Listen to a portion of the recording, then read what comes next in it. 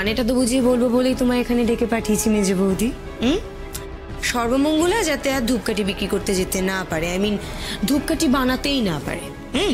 সেই ব্যবস্থাটাই কিন্তু তোমাদেরকে করতে হবে ওকে বলছি কি করতে হবে সেটা তো বলবে। বলছি বলছি। সর্বমঙ্গলা ব্র্যান্ডের ধূপকাঠি আগামী দু মাস দু মাস যাতে কোনো রকম ভাবে ধূপকাঠি বানাতে না পারে সেই ব্যবস্থাটা তোমাদেরকে করতে হবে That's it. কিন্তু সর্বমঙ্গলে আমাদের কথা শুনবে কেন? তো কাউকে পাত্তাই দেয় না। আর অনিশ, ও তো সবসময় ওর সাথে থাকে। ধূপকাঠি বানাতে উৎসাহ দেয়। দিতে পারবে না। দিতে পারবে না। এমন একটা প্ল্যান বানিয়েছি আমি। সর্বমঙ্গলা কোনোভাবে আর ধূপকাঠিটাই তো বানাতে পারবে না। What is your plan Soumili প্ল্যানটা জাস্ট দারুণ। আর এই প্ল্যানটা কিন্তু বাড়িতে গিয়ে তোমাকে এক্সিকিউট করতে হবে। দ্যাটস ইট যাতে সর্বমঙ্গলা কোনো রকমভাবে ধূপকাঠি বানাতে না পারে মানে জাস্ট না পারে কোনোভাবেই পারবে না। এই ব্যবস্থাটাই কিন্তু করতে হবে কজ প্ল্যানটা আমি এরমভাবেই বানিয়েছি। অ্যান্ড জিজু এই প্ল্যান তোমায় কিন্তু সমানভাবে ভূমিকা পালন করতে হবে ওকে হুম হুম। তাহলে প্ল্যানটা আমি শোনাই। বলো বলো।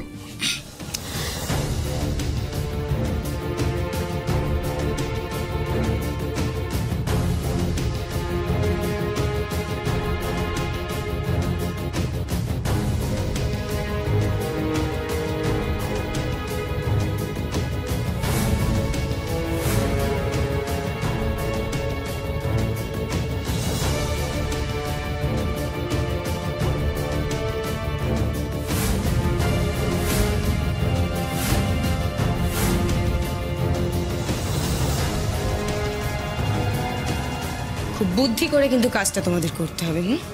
সর্বমঙ্গলা বুঝতে না পারল ওই অনিস্তা ভীষণ ক্লেভার ও কিন্তু সবটা বুঝে নিতে পারে হুম? অনিশকে নিয়ে তুমি টেনশন করো না সৌমিলি এটা আমার হাতে ছেড়ে দাও। অনিশকে আমি কিচ্ছু বুঝতে দেবো না। কিচ্ছুটি না। ব্যাস তাহলে প্রবলেম কোথায়? যাও কাজে লেগে পড়ো।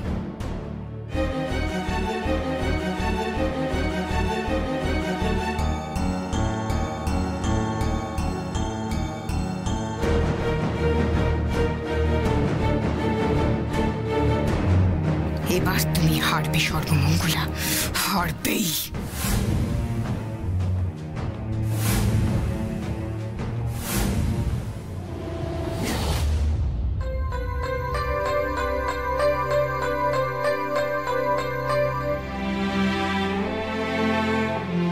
দাঁড়াও।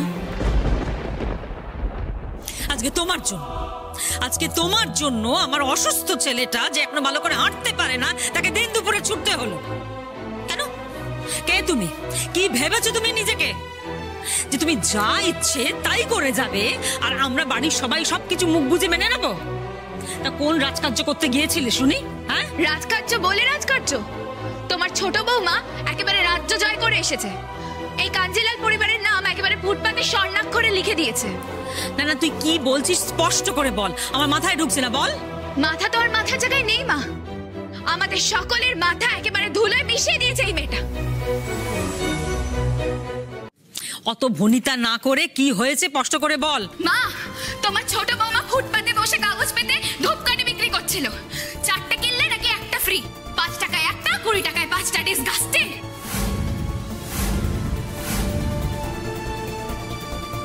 কি? কি বলছিস তুই? ফুটপাতে বসে? মা ইনাফ ইজ ইনাফ আমি আর এই বাড়িতে থাকব না। বন্ধুদের সাথে কোনো মেস টেসে গিয়ে থাকব। তোমরা প্লিজ ব্যবস্থা করে দাও। চুপ কর। সঙ্গীতা চুপ কর। আগে তুই আমাকে বল যে এই খবরটা তুই কীভাবে জানলি। তুই নিজে চোখে দেখেছিস? যদি নিজের চোখে দেখতাম না আমি তখন এই ধূপকাঠিগুলো টেনে জলে ফেলে দিতাম। আর ওকে হিড় হিড় করে টানতে টানতে এখানে নিয়ে আসতাম। পাড়ার মোড়ে টুম্পা কাকিমারা রসে রসে এই গল্পটা করছিল। আমাকে তো ডেকে বলল বাজেভাবে হাসছিল মা ওরা। ছি ছি ছি ছি ছি। মা আমি এরপরে কলেজে যাব কি করে ওদের সামনে দিয়ে? অনিশ সঙ্গীতা কি বলল শুনেছিস? এর পরেও তোর কি কিছু বলার আছে? মা তুমি কাকে কমপ্লেন করছ? ছোট্টা ভাইও তো ছিল ওখানে।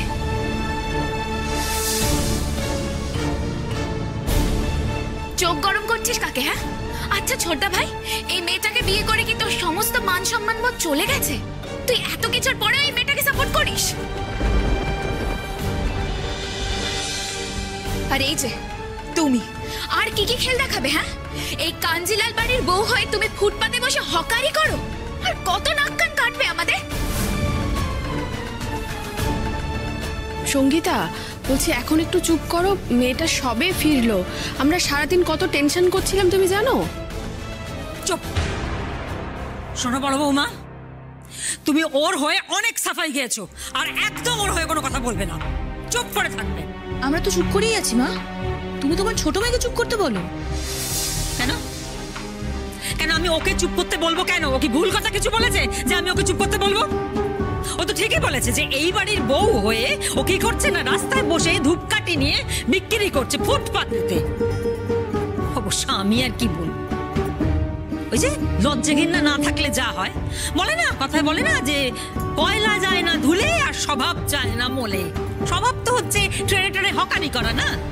তা সেইটাই করো যাও। এখানে দোকানে দোকানে ধূপকাঠি না দিয়ে ট্রেনে হকারি করতে চলে যাও। তবে হ্যাঁ, আমাদের বাড়ি ছেড়ে যাবার পর তারপর তোমার যা ইচ্ছে হয় তুমি তাই করবে। আমরা তোমার কোন বাড়া ভাতে ছাই দিয়েছি হ্যাঁ? কোন বাড়া ভাতে ছাই দিয়েছি যে তুমি আমাদের গালে এভাবে চুনকালি মাখাচ্ছ? মা প্লিজ। তোমরা অনেক কথা বলে ফেলেছ। এবার আমি যেটা বলছি সেটা মন দিয়ে শোনো। কি? তোর কথা শুনব? কি শুনব রে? তুই তো এই হকারটার গোলাম হয়ে গেছিস। সঙ্গীতা মাত্রা ছাড়াস না কিন্তু। তুই ভাবিস না যে সর্বমঙ্গলার মতো বাড়ির সবাই তোর বেয়াদবি দেখে চুপ থাকবে? চুপ কর দিদি ভাই। তুই অনেক কথা বলেছিস। এবার আমাকে বলতে দে। আর আমি যেটা এখন বলব, সেটা আমার বিয়ে করা বউ সর্বমঙ্গলাকে নিয়ে নয়। মা, মনে করো এই বাড়িতে ধূপকাঠি বিক্রি করতে এসে নিজের মায়ের মতো তোমাকে মনে করে নিজের জীবনের গল্প বলছে। বাড়িতে যার বাবা আছে, যে কিচ্ছু করতে পারে না। ভাই আছে যে স্কুলে পড়ে, আর তার বোন জীবনে একটা মারাত্মক ভুল করে নিজেদের নিজেদের মাথা গোজার ঠাই একটা লোভী, অসাধু, শয়তানের হাতে তুলে দিয়েছে। মেয়েটার মা প্রতিবদ্ধী স্বামীকে শুশ্রূষা করে দুই মেয়ে, এক ছেলেকে নিয়ে নিজের সংসার চালাচ্ছে। পাঁচটা মানুষের সংসার, অথচ আর্নিং মেম্বার নেই। গোটা পরিবারের অস্তিত্ব যখন বিপন্ন, তখন এই গ্রামের অতি সাধারণ মেয়েটা ঘুরে দাঁড়াল।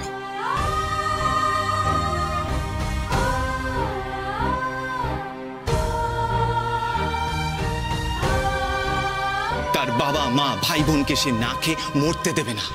তার বিপদগামী বোনকে সে জীবনে ফেরাবে। তার ভাইকে পড়াশোনা শিখিয়ে সে মানুষ করবে। নিজে আয় করে বন্ধক দেয়া বাড়ি ছাড়িয়ে নিজের পরিবারের পায়ের নিচে জমি আর মাথার উপরে ছাদ অক্ষত রাখবে। কিছু তো একটা করতে হবে, কিন্তু এমন একটা কিছু করতে হবে যেটাতে অনেক অনেক টাকা। মা, আমি কিন্তু এই কাঞ্জিলাল পরিবারের ছোট বউয়ের কথা বলছি না। আমি একজন অতি সাধারণ গ্রামের হকারের মেয়ের গল্প বলছি।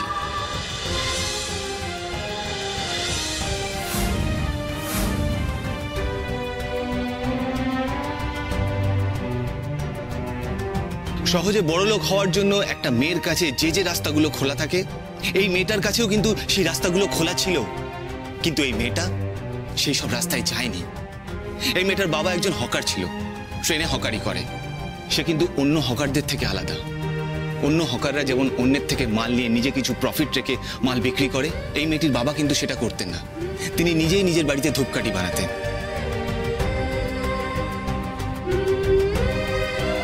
তার মানে খুব ছোট হলেও এই মেয়েটির বাবা কিন্তু একজন শিল্পপতি। তার কাছে কুটির শিল্পের লাইসেন্স রয়েছে। প্রতি বছর সেই লাইসেন্সের ফি দেন এবং নিজের বাড়িতেই তিনি শিল্প উৎপাদন করেন এবং নিজেই মার্কেটিং করেন।